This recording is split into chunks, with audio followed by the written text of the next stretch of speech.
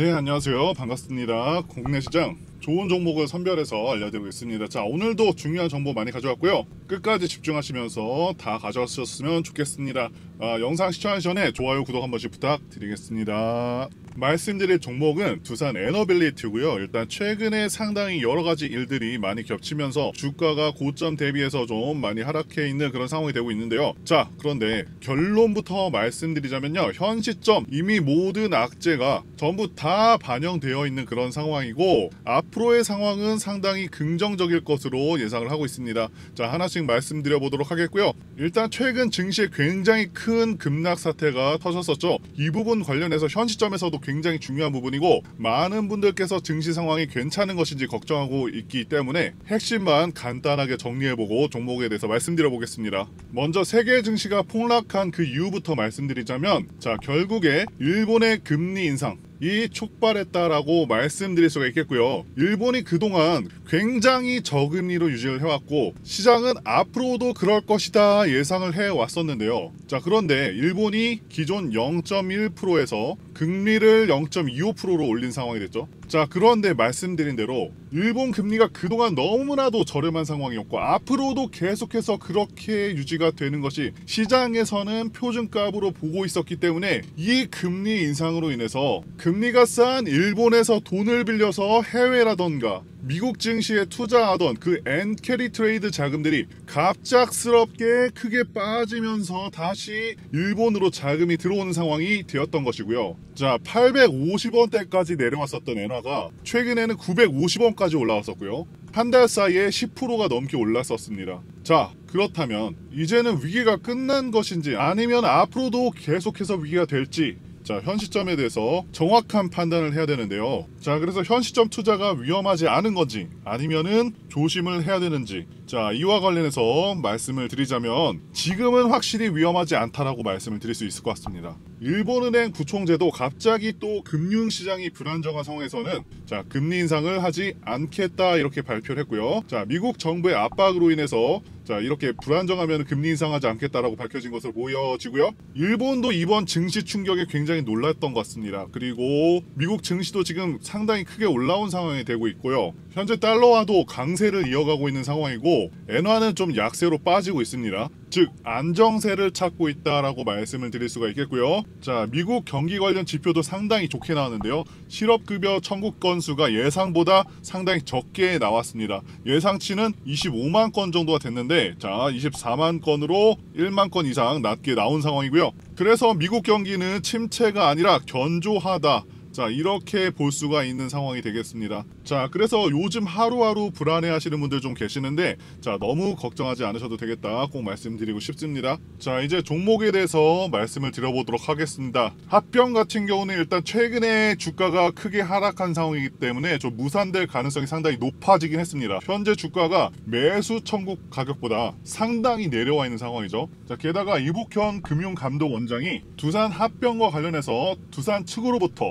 정정된 신고서를 제출받았다고 밝혔는데 자 그런데 기본 원칙인 최초 부족했었다라고 생각한 부분 즉 구조 개편의 효과, 의사결정 과정, 그로 인한 위험들에 대해서 주주들의 의사결정에 필요한 정보가 기재되어 있는지를 보고 있다 이렇게 얘기를 했습니다. 자 그리고 또 부족하면은 몇 번이고 정정 요구를 하겠다라고 했고요. 자 이 부분이 중요해서 다시 한번 말씀드리지만 한마디로 그겁니다. 자 이복형 금융위원장은 이런 말도 안 되는 합병 비율 말고 제대로 계산해서 가지고 와라. 안 그러면 계속해서 반려할 것이다. 자 이 뜻입니다. 지금 똑같은 비율의 정정 신고서를 가지고 와서 합병하겠다고 하니 좀 기가 차는 겁니다. 자, 제 생각에는 아마 금감원이 계속해서 신고서를 반려할 것으로 생각이 되고요. 자, 이게 정부의 입장이고 정부가 지금 계속해서 원전 사업을 밀어주고 있던 상황인데 자, 이런 일로 인해서 나라 전체를 시끄럽게 만들어서 굉장히 불편해할 것으로 저는 개인적으로 생각을 하고 있고요. 합병은 거의 뭐 물 건너 갔다 이렇게 보셔도 될 것 같습니다.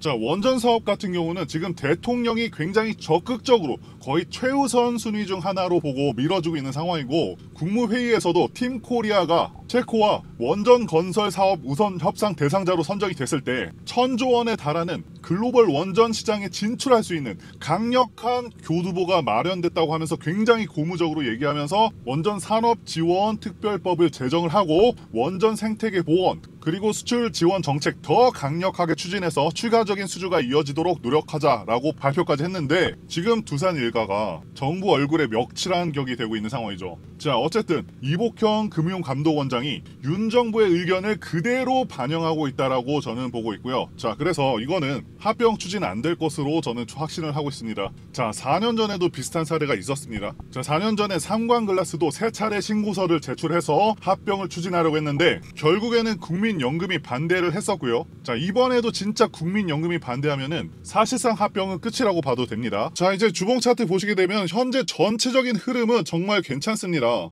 정말 오랫동안 기간 조정 그리고 하락 조정까지 다 거친 상황이고요. 현재 여러 가지 재료가 있음에도 계속해서 합병과 같은 악재를 뿌려서 지금 주가가 억지로 좀 내려와 있는 그런 상황으로 느낌이 듭니다. 현재 두산의 에너빌리티 같은 경우는요. 2021년 이때 고점을 찍고서 지속적으로 하락을 거듭해서요. 2022년에 최고점 대비해서 최저점 마이너스 60% 정도로 정말 많이 하락을 했었고요. 지금 가격도 그때와 비교해서 그렇게 올라오진 않았습니다. 그러니까 지금 현재 가격이 굉장히 평가 절하되어 있는 그런 가격이 맞고요. 자 그리고 수급 분석도 중요한데 수급을 보시게 되면은 5월부터 누적으로 봤을 때 이 외인들 자금이 엄청나게 들어왔었습니다. 두 달간 2천만 주나 들어왔었고 자 물론 최근에는 400만 주를 좀 팔기도 했었지만 어쨌든 5월부터 모아온 물량이 1600만 주가 넘습니다. 자, 굉장히 큰 물량이고 지난 5월부터 매집을 해온 상황이기 때문에 자 이들 평단가 보시면은 굉장히 높습니다. 대략적으로 19,000원 근처라고 판단을 하고 있죠. 현 시점까지도 거의 대부분의 물량들을 가지고 있는 상황이고요. 자, 그래서 손실을 상당히 보고 있을 것이다 라고 판단을 하고 있습니다. 지금 합병 추진으로 인해서 주가가 원래보다 좀 더 밀리는 상황이 되고 있는데 자, 결국에는 2만원에서 상당히 멀어진 상황이죠. 매수 청구권 가격이 2만 원을 넘기 때문에 자 지금은 이런 상황 속에서는 합병은 힘들어질 수 있는 그런 상황으로 보고 있고요. 그렇다는 것은 이 합병 무산 시에는 호재로 작용을 해서 주가가 더 탄력적으로 올라갈 수도 있는 그런 상황으로 보고 있습니다. 어쨌든 차트를 보시면 지금 전반적으로 삼각 수렴이 진행된 상황이고요. 이 시점을 기점으로 해서 추세가 상승으로 전환되었다라고 보시는 게 맞겠고요. 자, 그리고 제가 항상 이 최저점을 강조드리고 말씀을 드리고 있는데, 엘리어트 파동상 주식은요, 최저점을 기준으로 해서 상승 5파가 시작이 됩니다. 그래서 지금 구간 같은 경우는 상승 파동 중에서 상승 1파와 2파는 생략됐다고 보고 있고요. 자, 3, 4, 5파가 이렇게 계속해서 진행될 수 있는 상황으로 보고 있습니다. 자 그렇기 때문에 이렇게 눌리더라도 추가적인 상승 확실하게 기대를 할 수가 있다라고 말씀을 드릴 수 있겠고요. 지난 월요일에 최대폭으로 하락을 했었는데 그렇다고 하더라도 이 추세선 하단선에서 즉 15,000원 부근에서 확실하게 지켜주는 상황으로 진행이 됐죠. 자 지금 굉장히 큰 폭의 하락을 한 상황이기 때문에 낙폭 과대로 인한 충분한 상승 나와줄 수 있다라고 보고요. 자 게다가 말씀드린 대로 현재 구간이 상승의 초입 구간으로 보이기 때문에 차트상으로 분명히 긍정적인 흐름으로 진행될 수 있다라고 말씀드릴 수 있습니다. 현재 화면에 전화번호 보이시죠? 지금 화면에 보이는 제 개인 전화번호로 이분처럼 숫자 1이라고만 쓰셔서 문자 보내주시면 이분이 받으신 것과 동일한 형태의 문자를 장 시작 전에 받아보실 수가 있습니다. 일단 이분 같은 경우는 7월 3일에 숫자 1이라고 쓰셔서 문자를 보내주셨고 제가 문자를 확인하고 그 다음 날인 7월 4일에 무료 단기 대응 종목입니다 라고 하면서 장 시작 전에 미리 편안하게 매수하실 수 있도록 문자를 보내드렸습니다. 자 종목명은 대웅 이라고 말씀을 드렸고 의약품 대량 위탁 생산이 본격화된다는 이슈를 체크를 했고요. 차트상으로도 확인해서 확실하게 그리고 매수가 정확하게 16,000원 이하라고 말씀을 드렸었죠. 애매하게 뭐 시초가나 장 시작하고 매수하세요가 아니라 이렇게 정확하게 가격 16,000원 이하라고 말씀을 드렸습니다. 자 그럼 이때 대웅 주가가 어떻게 움직였는지 한번 같이 확인해 보도록 하겠습니다. 대웅 같은 경우는 이날 상한가에 간 것을 확인해 보실 수가 있으시고요. 자, 그런데 이때 시가가 15,750원이었고 아까 말씀드렸던 매수가는 16,000원 이하였었죠. 자, 그리고 당일 저가가 15,450원. 자, 그렇기 때문에 아까 말씀드린 16,000원 이하에서 매수대기 걸어 놓으신 분들은 100%다 매수 체결 되셨을 거고 그리고 확실하게 상승을 했기 때문에 제 문자를 받아보시고 거고 또 저를 믿고서 실제로 매수하신 분들은 누구나 다 15% 이상 수익이 나셨을 겁니다. 그럼 다시 문자 내용으로 돌아가서 보면 의약품 대량 위탁 생산 사업에 본격적으로 착수하였고 이 사업을 통해서